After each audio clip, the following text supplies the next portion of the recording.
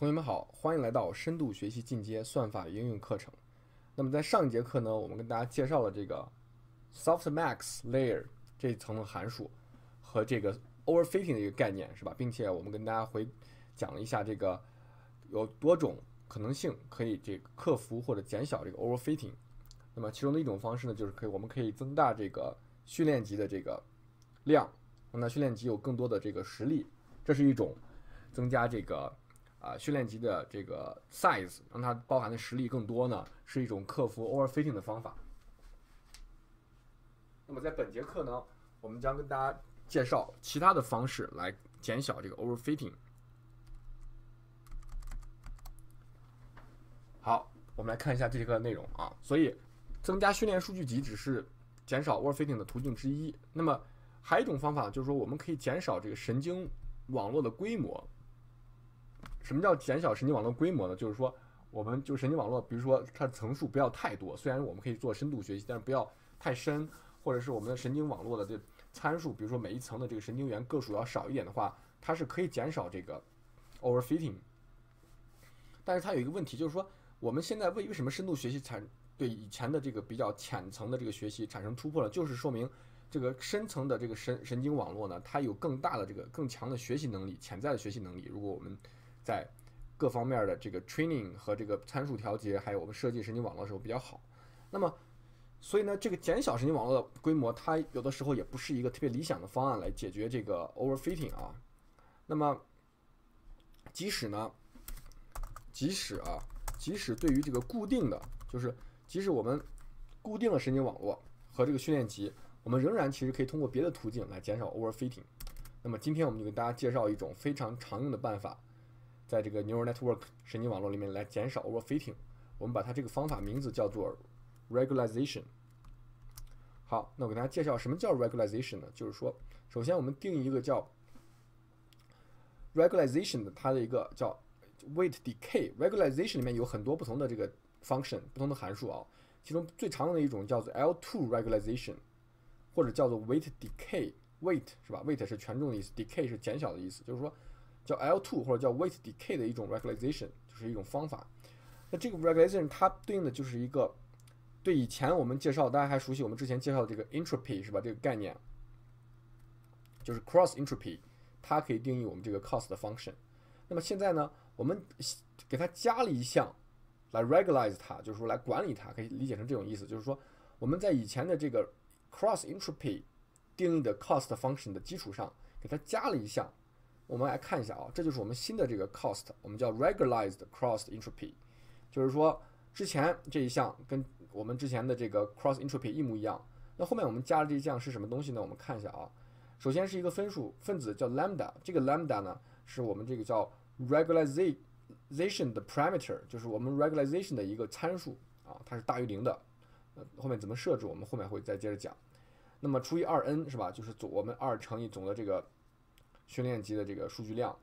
那么里面是一个和，是什么和呢？我们看啊，是这个 W 是吧？这个 weight 就是我们权重的平方，针对所有权重的平方和。那这个所有的权重指的是我们整个神经网络里面的每一层的每个神经元，它的 weight 全部加起来，它的平方全部加起来啊，它的一个和。那么这个方程呢，就叫做我们 regularized cross entropy，就是我们 regular 加了 regularization 之后的这个 cross entropy 的一个。目标函数 cost function 啊，所以我们这跟之前比一下，其实是增加了一项，也就是权重之和。那么这个权重之和是对于神经网络里面所有的这个权重 w 相加。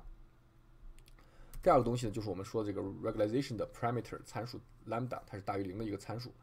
然后呢，这个 n 呢，指的就是训练集包含的实例个数，是吧？那我对于我们来回顾一下之前我们这个旧的最。最开始我们学的这个 cost function 就是这个 quadratic，也叫二次 cost function，是前面这一部分是吧？这一部分它其实我们也也可以加一个 regularization 这个这一项啊，也就是说对于这个 cross entropy 本身和这个我们之前学的这个 quadratic cost 二次 cost，我们都可以加上一项，把它叫做对应的这个 regularize regularized 什么 function 是吧？之前对于 cross entropy 我们加完以后就叫 regularized cross entropy cost function。那么我们加完这个，对这个 quadratic cost 二次 cost 加了一个同样的 term 呢，我们就叫做 regularized quadratic cost，是吧？我们来看一下这个，前面这一项呢是我们非常熟悉的，我们一直用的这个二次 cost，然后后面加这一项呢，我们跟之前对这个 entropy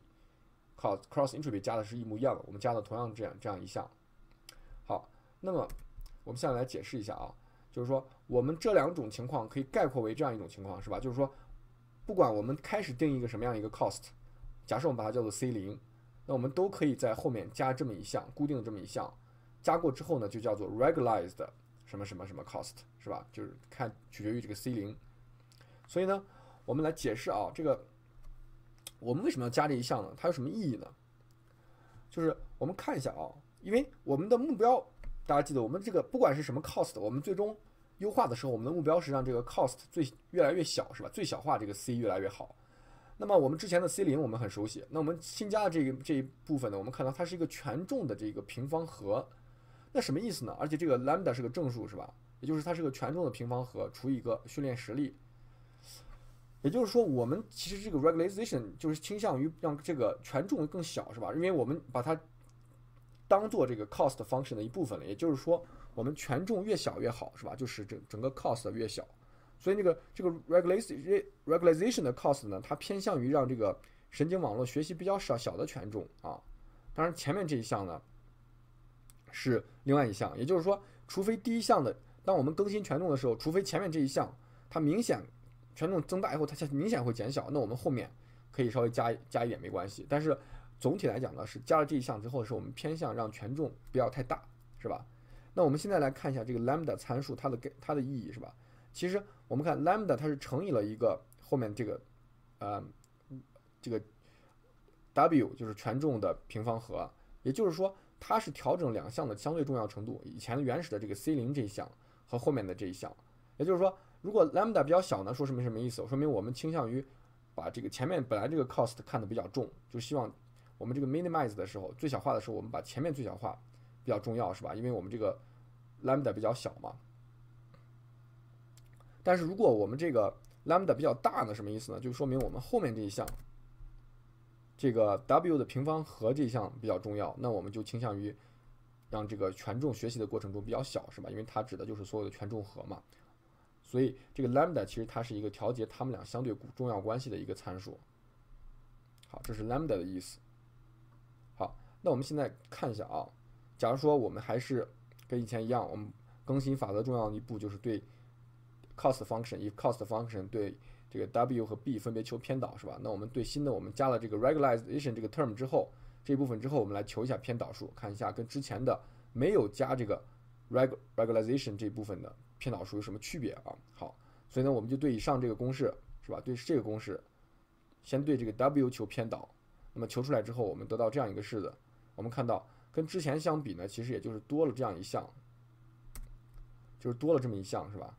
我们之前的如果是只有 c 零的话，我们就是求出来就是这样一个偏导。现在我们就是多了一个 lambda 除以 n 乘以 w。那么对于这个 bias 呢，其实我们求出来这个偏导数跟以前一模一样，是吧？没有任何变化。所以我们求出来之后呢，前面这这两项的导数我们都知道，我们之前介绍了，我们可以通过这个 back propagation 来算出来这两个值，是吧？后面加了这一项，单独加了这一项，我们单独来看。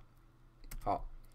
那么也就是说，对于这个偏向来说的话呢，它的偏导数是不变的；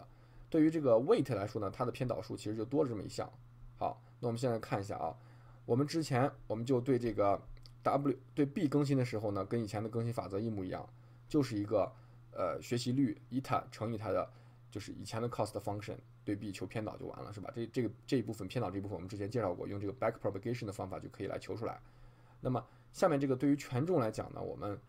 前面这一项是不变，那我们后面多了一项，就是因为我们多出来了一项这个 lambda w 是吧？所以前面这一项更新的时候不变，但是我们还要多减一个部分，就是这一部分。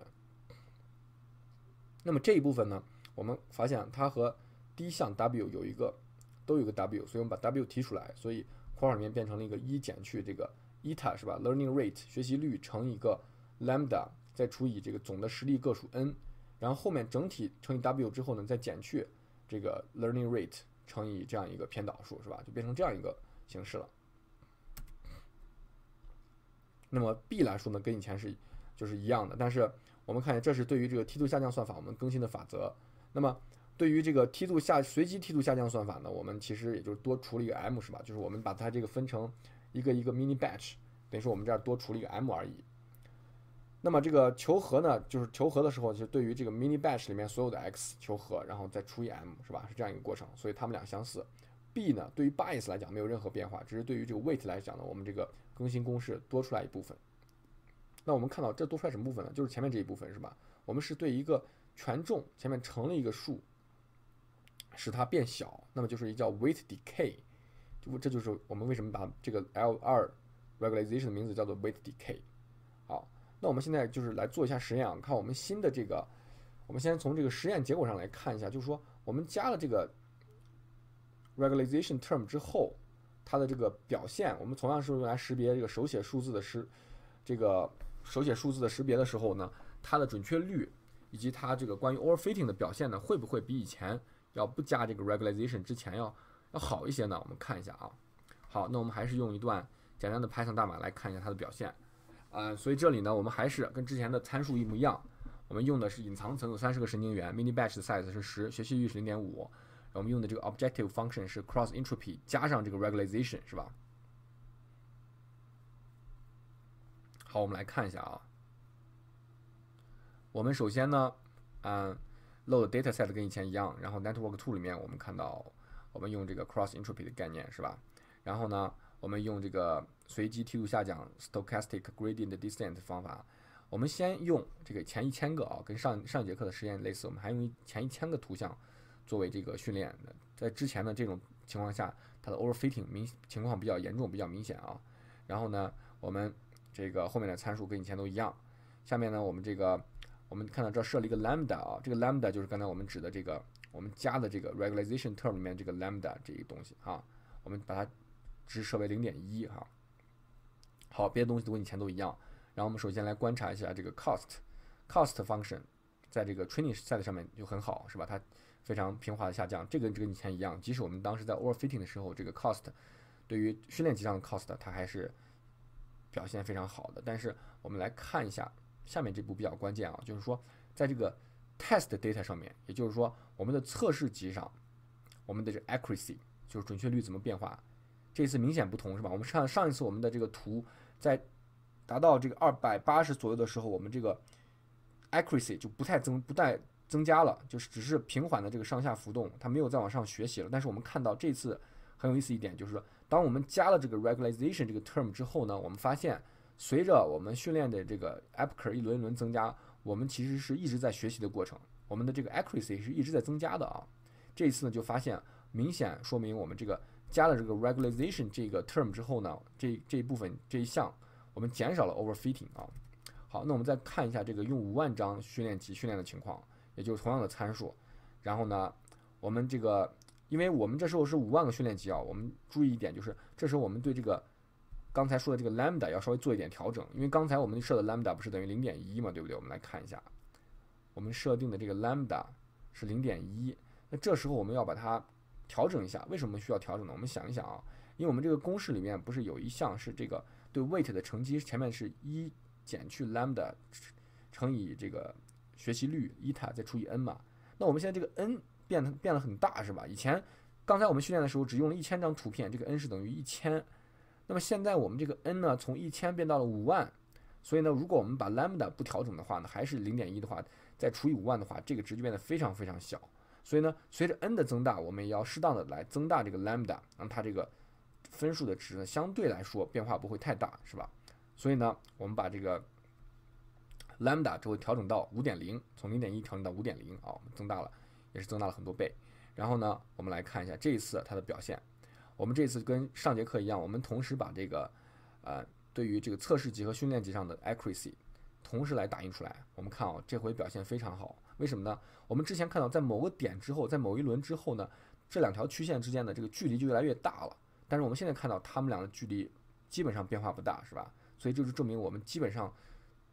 不存在这个 overfitting 了，大大减少了 overfitting。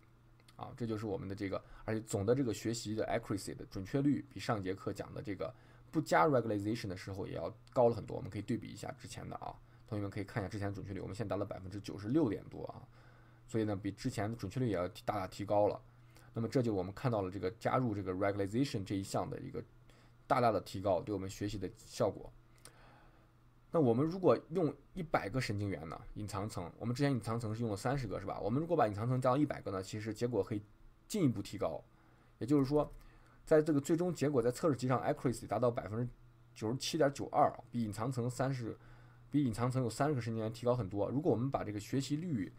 等这些参数再稍微优化一下的话，我们只需要跑三十个 APCR，就三十轮之后呢，我们的准确率就可以超过百分之九十八，可以达到百分之九十八点零四啊，这样是非常大的一个提高。所以我们看到这个加入 regularization 这一个 term 还是非常有用的。它不仅就是说减小了 overfitting 啊。还有一个好处就是说，它提高了这个准确率。还有一项，还有一个好处就是说，我们之前不加 regularization 的时候，其实有的时候我们这个算法容易陷入这个 local minimal，也就是说，我们找最低点的时候呢，我们找到这个局部最低点了。因为这个我们之前说过，这个梯度下降算法它的这个起始值挺重要的。所以呢，如果我们起始值在有些情况下不好的话，我们在通过简单的这个梯度下降算法，而且没有这个 regularization 的时候呢，我们有时候往往陷入这个局部最最优最低点。那么我们重复重复实验的话，结果可能经常会不一样。但是加入这个 regularization 的 over 好处是不见不但减小了 overfitting，还有好处就是说它不太容易陷入这个局部最小点 local minimum，所以它更容易让实验结果重现啊。那大家可能好奇说，这个加入 regularization 这一项为什么可以有这么多好处呢？可以减少这个 overfitting 的啊。我们用这个简单的一个例子跟大家来解释一下啊。这个道理其实挺复杂，但是我们用一个简单的例子给大家解释一下，就是说大家看一下这里这张图啊。我们假设有两个变量 x 和 y，这两个这个例子有点像上节课我们跟大家最开始看到那个例子，就是说，比如说他们有一些这个 x y 之间有某一种关系，他们的这个是点有一个点的分布是这样子的。那么我们现在下面需要建一个模型来捕捉这个规律，是吧？我们可以有两种情况。第一种情况呢，我们可以建这样一条模型，我们可以呃建一个最高是九 x 九次方哦这样一个多项式来模拟这个点的分布。那么它呢可能可以通过所有的点，也就是说对于这个方程来讲的话，我们在这个点上这个训练集上呢，它的这个误差是零，是吧？如果我们算这个错误的话，它全都对了，因为这个曲线经过所有的点。但是我们看啊，这个方程也比较恐怖，就是它的这个最高次。x 次方是九次方哦，非常非常复杂的一个方程。那么我们还有一种方法，就是我们可以另外一个，我们比如说就用一个简单的二次，就线性的方程来来模拟它，就是简单就是 y 等于二 x，这条直线仍然可以代表大部分的这个点的分布的一个趋向一个方向啊。那现在有一个问题就来，就是哪个模型更好呢？我们现在如果没有多余的信息来讲的话，也很难说，是吧？但是有一些基本原则，就是说，首先呢，这个第二个方程 y 等于 r x 这个线性的方程它更简单。但是它对当我们看到这个数据描述的也是比较好的，那也就是说，如果实际这个真实的数据所有数据总体分布，它如果不满足这这种情况的话，刚好是出于巧合的话呢，它能够在这么简单的一个模型就可以把这个一个代表性的数据模拟的这么好呢，它的概率是比较低的，对吧？就是说，如果这个模型很简单，但实际数据总体我们看不到的所有群体数据的分布。它如果不是这样子，但是我们用简单的一个 y 等于二 x 模型就能描述它的话，这样是一个很大的一个巧合，是吧？也就是说，这个巧合发生的这个概率非常非常小。那么 x 上面这个模型呢，就是说九次方这个呢，它相对复杂很多。那么它相对来说的话，就是说，如果我们的这个真实的这个数据分布比较复杂的话，它也可能刚好就可以模拟它，因为它比较复杂。但是问题就是说，我们因为不知道更多的信息，我们觉得，因为 y 等于二 x 更简单，而它仍然可以很好的描述这个数据，所以呢，我们偏向使用这个方程，是吧？但是 这样就是一个经验，就是说，可能我们这个方 y 等于二 x 它可以更好的代表这个数据的总趋势，是吧？然而这个九次方的这个方程呢，它可能把一些局部的噪音这个都捕捉进去了，它就是其实是一个 overfitting 的情况，可能更可能一些。好。那么也就是说，在这个神经网络中啊，我们看一下啊，我们之刚这个例子跟跟这个 regularization 有什么区别呢？就是说，这个在神经网络中，我如果我们给一个 cost function 加了这个 regularization 这一项呢，就是说，这个 regularize 的这个神经网络它更鼓励小的权重，是吧？这个我们可以理解，因为它加了这个这一项就是一个权重的平方和。那么在如果在权重比较小的情况下呢 x 一些随机的变化不会对神经网络的模型造成太大影响，是吧？这个可以理解，就是说，因为我们在更新这个神经网络的时候，每一项都要乘以这个权重。如果权重本身比较小的话呢，我们在这个 x 输入的时候变化变化不会对神经网络的这个模型行为造成太大影响，是吧？所以更小更不太可能受到受到这个局部噪音的影响。数据如果有噪音的话，因为我们每一个这个数这个权重都比较小，所以呢，它对这个神经网络的整个影响比较小，所以呢，它不会受到不太可能受到更小的可能受到这个呃局部数据噪音的影响啊。受到啊，那么在这个没有 regularization 的神经网络中呢，这个权重相对来说要大一些，是吧？因为它不，它不会倾向就是说我们就有一个限制对权重，所以它没有我们加的那一项就权重的平方和呢。所以呢，它如果通它这个这种 model，它这种模型，它容易通过神经网络这个比较大的改变来适应这个我们当时训练的这个数据，那么它可能更容易学到这个局部的噪音，就可更可能产生 overfitting 啊。这是一个从概念上来讲，大家可以自己想一下这个道理。所以呢，这个 regularized 更倾向于学到一些更简单的一些模型啊，这是一些规律。但是从这个总体的角度来讲，简单的模型不一定总是好。所以呢，我们在这个概念上来讲是这样，但是我们还是要从大量的数据中来获得这个实验中获得数据来看是到底是哪一种情况比较好。目前呢，在这 regularization 为什么可以更好的可以泛化更多的数据，可以减少 overfitting，它的理论支持呢还在。目前还在研究之中，啊，好的，那今这节课我们就跟大家介绍这个 regularization 这一项，然后呢，这节课我们内容就先到这里，下节课再见。